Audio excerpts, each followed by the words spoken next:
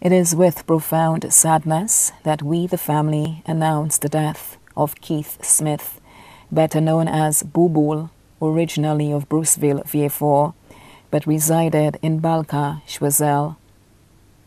Keith passed away on Wednesday, October 18, 2017.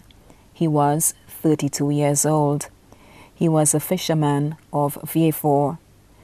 The funeral celebration for the life of Keith Smith better known as Bubul, will be held at the Lady of the Assumption Roman Catholic Church, Vieux on Wednesday, November 8, 2017 at 3 p.m. His body will be laid to rest at the Latuni Cemetery. Please note, the family kindly request, especially for those of you attending the funeral service, to wear a touch of blue. Keith's body now lies at Rambali's funeral parlor, Latuni, Vieux May he sleep in God's perfect peace.